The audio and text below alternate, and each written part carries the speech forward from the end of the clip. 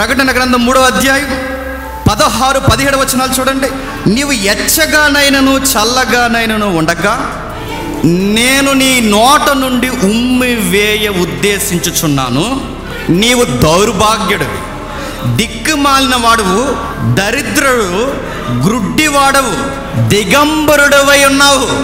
అంటే ఇక్కడ ఒక పదం సందర్భం కొంచెం పక్కన పెడదాం. సందర్భంలోని కొన్ని పదాలు మనం ఉద్దేశంలోకి తీసుకొద్దాం. ఉద్దేశం ఏంటంటే మనిషికి ఇచ్చే దేవుడిచ్చే పదాలు ఏంటి చెప్పండి? దౌర్భాగ్యుడు చెప్పండి. దిక్కుమాలినోడు చెప్పండి. దరిద్రుడు చెప్పండి. పనికి మాలినోడు చెప్పండి. దిగంబరి ఈ తిట్లలో నేను అడుగుతాను ఈ తిట్లలో కావాలని దేవుడు తిట్టాడా?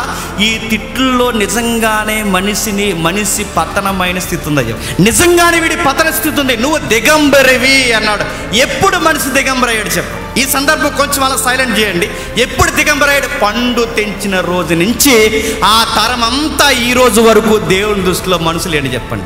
దిగంబరి. దేవుడికి మనుషులు దూరం జరిగిన తర్వాత మనిషి ఏమయ్యాడు? దేవుడంటే దొరకని మనుషులకి మనుషులు దిక్కులేనోళ్ళు అయిపోయారు.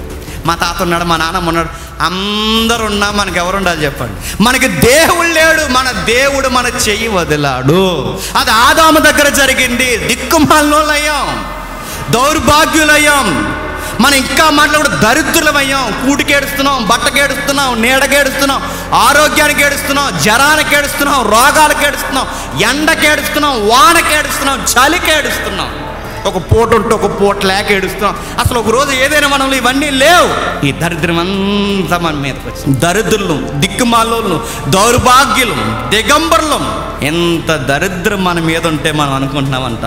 నేను జ్ఞాన్ని అనుకున్నాడు ఏమనుకున్నాడు? నేను జ్ఞానిని అన్నాడు. దిక్కుమాలనోడు దౌర్భాగ్యుడు దరిద్రుడు గుడ్డివాడు దిగంబరైన మనిషి ఏమనుకుంటున్నాడు చెప్పండి? నేను బాగానే ఉన్నాను. నేను జ్ఞానిని. నాకు దేవుడితో పనేముంది. అని మనిషికి ఎందుకు సువార్త ఎక్కట్లేదు? అసలు ఆడు ఏ స్టాండింగ్లో ఉన్నాడో వాడికి తెలియలేనప్పుడు మనం ఎంత చెప్పినా నీకు బట్టలు లేవురా అని చెప్తే నోరు మీరా రైమండ్స్ సూట్ అంటాడు. ఆడు. ఈ బట్టల కోసమే మాడతాడు చెప్పి మాట్లాడు నీకెవరు నీకు ఎవరు లేరంటే ఎవరు లేపడబెట్టి పెసిరెడ్డి గారు ఎవరు తాలిక? మా తాత.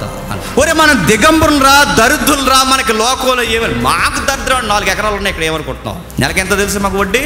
అంటాడు. వాళ్ళ మాటలు వేరు వాళ్ళ తీరు వేరు. మనం మాట్లాడే స్టాండింగ్ ఒకటే వాళ్ళ మాట్లాడే స్టాండింగ్ ఒకటే.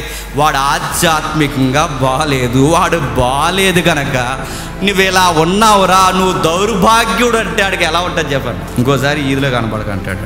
నువ్వు దిగంబరుడు అంటే చిన్నోర్మి అంటాడు అంట చెప్పు. వాడికి మనం ఎన్ని చెప్పిన ఈ పదాలు చెప్తే నువ్వు గుడ్డోడు అంటే నాకు గుడ్డట్ట పెట్టురా నీ స్థితి ఇదిరా దేవుని ఎదుట అని చెబితే వాడికి అర్థం అవుతుంది అందుకే వాళ్ళకి సువార్త ఎలా ఉంటుంది తెలుసా?